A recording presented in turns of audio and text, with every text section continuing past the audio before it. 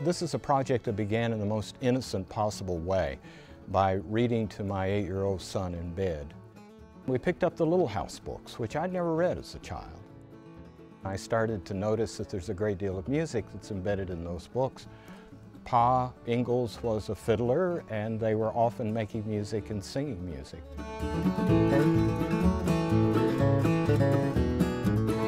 Her memories of this music were a road into her memories of being able to write the books. And I don't think that that's an aspect of the Little House books that people are really conscious about.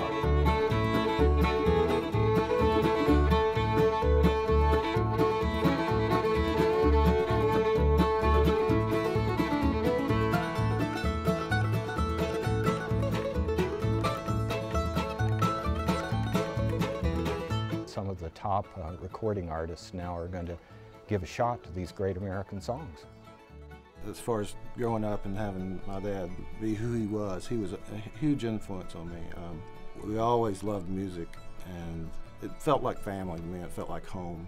I know praise and worship songs, uh, but I prefer songs with a little more meat, if you want to put it that way. And so this was one of those that uh, I, I, was happy to be doing here tonight. These words that you can so easily let just roll off your tongue, um, they weren't as easy for one who may have sung it before you. When you really go back and realize why they were singing these songs, it took them back home, it carried them home, even though they were at war and, uh, and missing missing their families.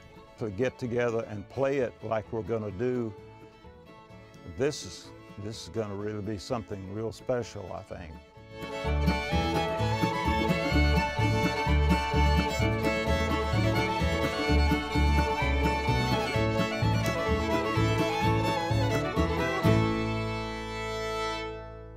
Without the music, without Pa's fiddle, without Pa, there wouldn't have been Little House books.